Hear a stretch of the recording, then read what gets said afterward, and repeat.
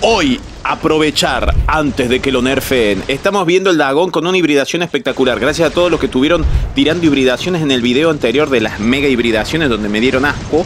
Y una de las hibridaciones que Wikipedia de Damián Bruno puso fue doble Trickster, doble Tamer y doble Magnetar. ¿Sí? Obviamente con los módulos triple Amplifier Estamos haciendo DOT, estamos haciendo Rust y estamos paralizando. El que no sabe el DOT es daño overtime, o sea que te drena la vida. Eh, el Rust lo que hace es que te hace te anula básicamente la curación. Y si vos tenés módulo, es un anulador de módulos. Te baja un 10% por cada acumulación y acumula por ráfaga. Entonces, si vos te querés curar, no te cura nada. Te nerfeo hasta tu propio buff. Y la Magnetar, por supuesto, paralizando. Nada de esto, nada de esto está al MK3. Miré cómo me dan Huasca. El escudo anda bien. Ojo que el Dagón no es un bot OP que aguante mucho. No, no, no.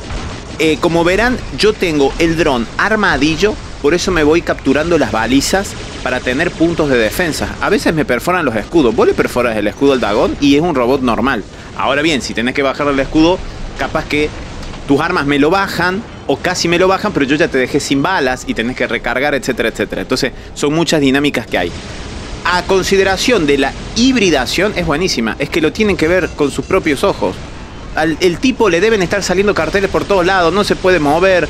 Decir que si encima te tiro el orbital porque estamos con la con la mute, con la nueva nave mute, te destruimos todo. Y cuanto más te mato, más habilidades tengo yo del piloto que no están maxeadas, porque desde que pusieron los componentes para los pilotos no maxiamos nada. Pero ojo, hay que enfrentar a este bicho. Y no está leveleado al MK3 y mucho menos las armas. Las armas le faltan como 11 niveles para estar al MK3. Y son 6 armas. Es un robot bastante caro.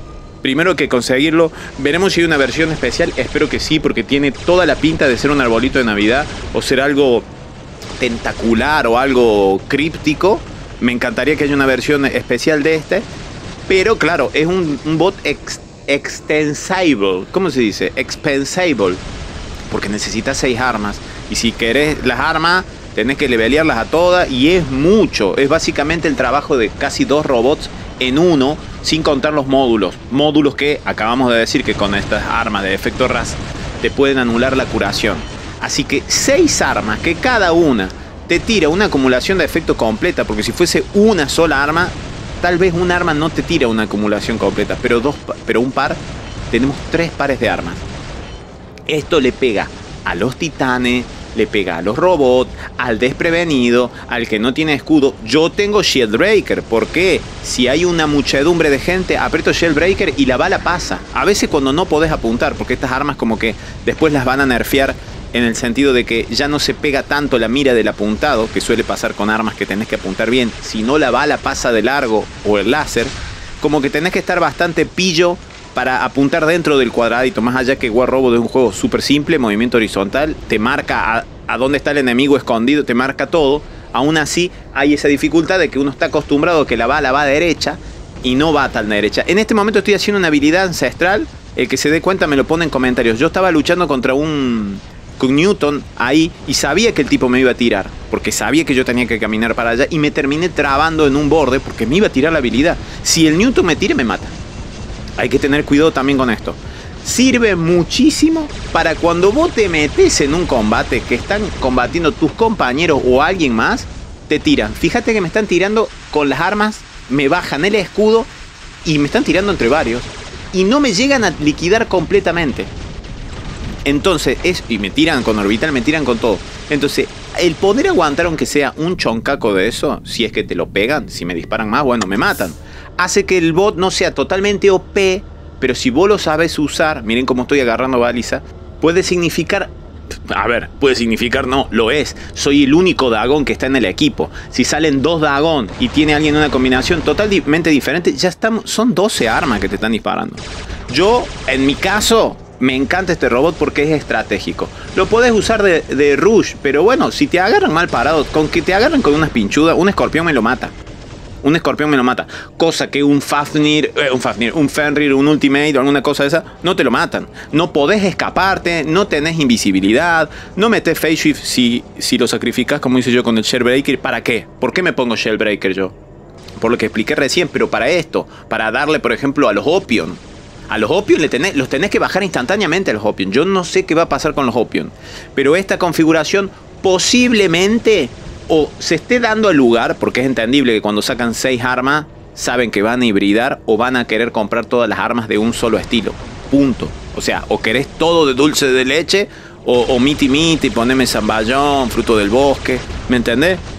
Entonces, a mí me gusta esta combinación. ¿Tengo seis de estas? Sí, tengo seis Tamer, tengo seis Trickster, tengo, no sé si seis Magnetar, pero podría usar. Pero para eso me tengo que conseguir dos Dagones. Y yo quiero un bot. Yo no soy de esos que juegan con 18 bots. Salgo con uno, intento estar a full con uno, levelearlo uno y luchar toda la partida con eso. Pero bueno, eso cada uno, hay gente que se va y se sacrifica y bueno, eso es para el gusto de cada uno. Entonces, entendiendo que esta idea de poner robots con tantísimas armas y bueno, no tantas habilidades porque este robot no te tira nada, se tira la habilidad a sí mismo, algo que yo le digo a usted que haga siempre, tírese a usted toda su energía. Posiblemente se nerfee y sí, a lo corto no, a lo corto no, es el robot nuevo, son las armas nuevas, Tal vez antes de que nerfeen el robot, nerfeen las armas, porque como dijimos con el Crisis, el Crisis simplemente le, quitaron un poquito la, que se cargue tan rápido la habilidad. O sea, no lo nerfearon en el sentido de. Eso sí es un rebalance para que no te estén 5 crisis disparando cada 10 segundos, ¿me entendés?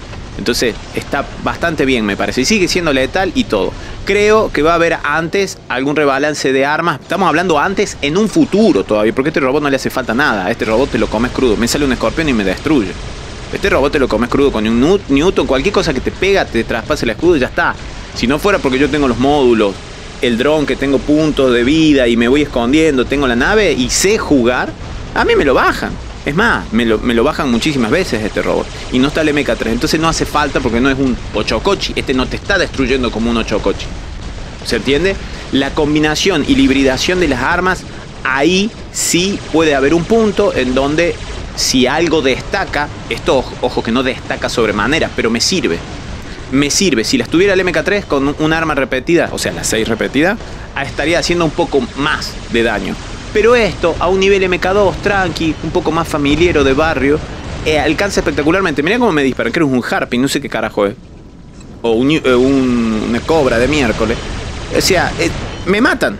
A uno chocochi vos le haces eso no. No, lo no le hace nada a los. A mí me agarran, me hacen la triangulación y me destruyen. Entonces, lo importante es la posible, futura y lejana nerfeación de la combinación de las armas. Antes que nerfeen al dragón, te van a cambiar las armas. Porque recuerden que tienen que venir todas las armas nuevas. Esto ya lo sabe la gente. Ahora bien, en este momento estamos haciendo. Esto es increíble. Lo suelo hacer cada tanto en War Robot. Esto es psicología del juego. Estar detrás y, no moverte. Yo cometo un error, ahí me muevo un poquito, pero el tipo se queda, dice, ¿qué hago? Claro, él empieza a distraerse porque no pueden mantener la atención y yo me quedo ahí. Sabe que soy más fuerte que él, pero él tiene la torre, creo que es un Mars, bueno, yo no, no veo un ojete. Eh, y me le voy, me le voy al humo y ya está. Ya está, el tipo no puede hacer nada, ni con su escudo me puede disparar un poco, pero él me tiene que bajar el escudo. Lo malo de la hibridación, que no es lo malo, es la parte, la espina de la rosa, es que tenés que esperar mucho. Acá está la, imagen que habíamos mostrado al principio donde aparece un Raven con congelamiento. Claro, el tema del congelamiento es que los misiles son más lentos que ella para invitarte a salir, porque en realidad no te quiere invitar a salir. Y empieza la locura, porque vos cuando agarras buff, cuando mis compañeros que me empujan, me pueden tirar de atrás, me pueden tirar de todos lados. Mientras no tenga el Shellbreaker, sos un modo asalto, porque este robot es un modo asalto. No es, no es rush puntualmente rush. Se, recuerdan que está camper, tanque, rush. Este es modo asalto. Un modo asalto es entre rush y que te quedas. Estás jugando de 10. No sos delantero. No sos delantero como tal vez un tanque o un rush capturador de baliza. Como un un Ochocochi es totalmente rush y también tanque. Yo no me voy de frente para que me disparen todo, pero yo estoy ahí, como Lionel Messi, administrando. Hace falta, pum, te tiro parálisis, te tiro rast, te tiro dot. Me quedo acá aguantando, te piso la pelota, te muevo las líneas, ¿me entendés? Y con la nave ni te digo. La nave es buenísima en el sentido que uno no se da cuenta de tan bien que hace la nave. Es increíble. A veces yo la tiro para, para curarme a mí mismo y a mis compañeros, me doy escudito y me curo. Pero me olvido que tira un ataque que paraliza a todos. Hay un momento en donde yo tiro la, torreta y salen todos los iconos porque estaban todos juntitos. todo paralizado. No sé qué, le hace la nave, todo paralizado. Seguimos mostrando la letalidad de la hibridación. El alcance de las armas es óptimo. Estamos usando un par de magnetar que son armas viejas. ¿Qué más querés? Armas viejas. Yo he probado, hablé de la Snaer. La Snaer está buena, el, el disparo te pega, te congelas. Snaer no tengo al MK, no tengo al MK2. Tendré. ¿Por qué? Que esto es así. Es fácil. Yo también agarro y tengo millones de oro y subo todo al MK3 y me pongo 6 Noriku en el MK3. Ah, vivo. Oh, bueno. Y claro, y claro.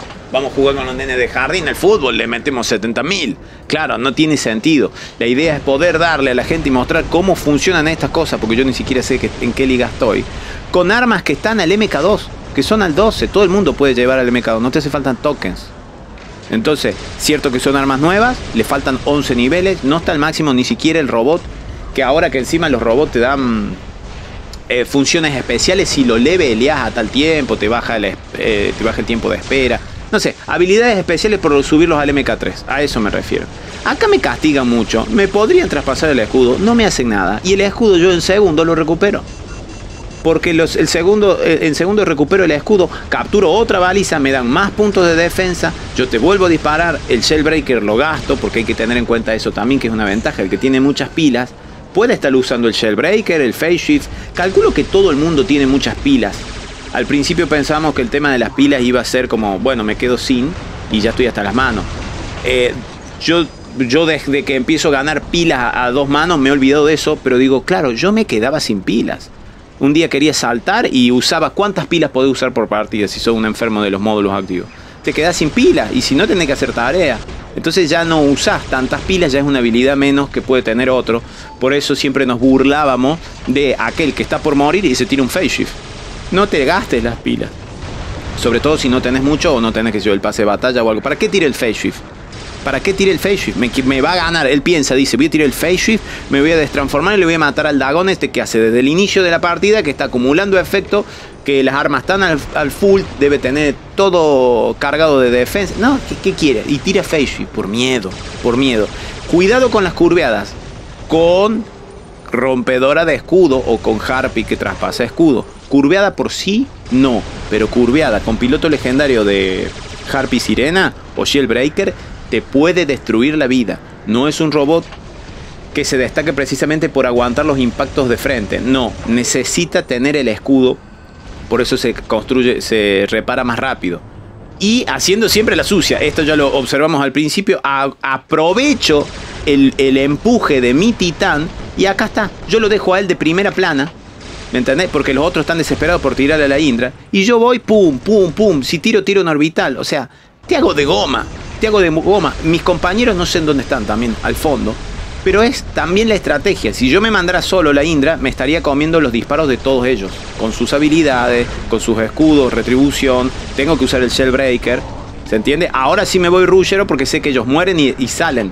Mueren, salen, van a querer tirar la, su habilidad. Pero esto funciona así. Hay que saber jugarlo, saber tus tiempos de arma, tus tiempos de carga, cómo, cómo vas. Si el tipo, generalmente cuando están muriendo, usan sus peores robots. Porque la verdad es así. Siempre cuando estás por, la primera parte de la partida sacas tu mejor robot. Es raro que te guardes el último robot al último. Suscríbete al like y nos vemos en el próximo video de War Robot. Bye bye.